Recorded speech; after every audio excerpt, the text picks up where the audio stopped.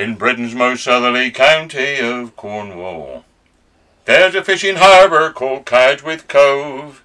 It's pebbly beach and thatched cottages. From here my story is told. Five generations both sides of my parents. Thirty years of fishing I have been. My great great granddad was a hewer. We both caught pilchards, now sardines. A hewer from the cliff top a fish finder to locate, estimate species and quantity. Very respected in the community for a pilchard in company.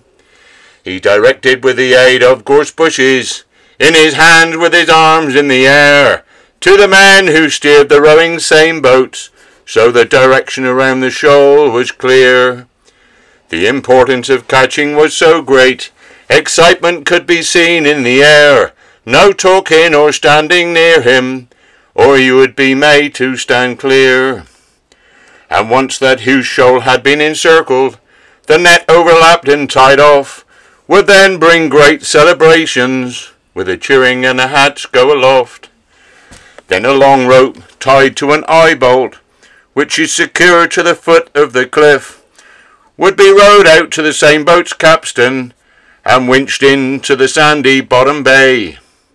Now the net had been anchored by cliff and seabed.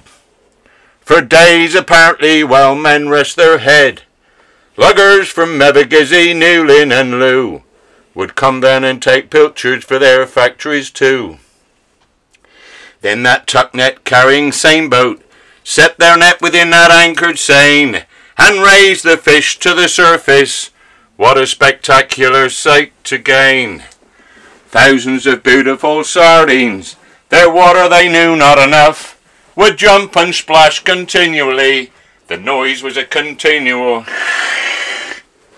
The spray over the shoal had scales in, that twinkled in the air as they fell. Down below, deep green sea full of twinkles, appeared solid as they sank to and fro. Many hundreds of squawking seagulls, their concern for their fish, not their flight, would bang into you in the back of the head. In the dark was hell of a fright. Some one hitting there, but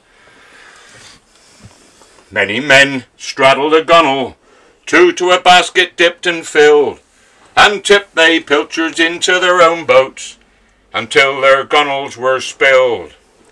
Rowed ashore, winched and walked up, effort shown in each way, in hand barrows to salting cellars, and ladies Alternatively in barrels they lay.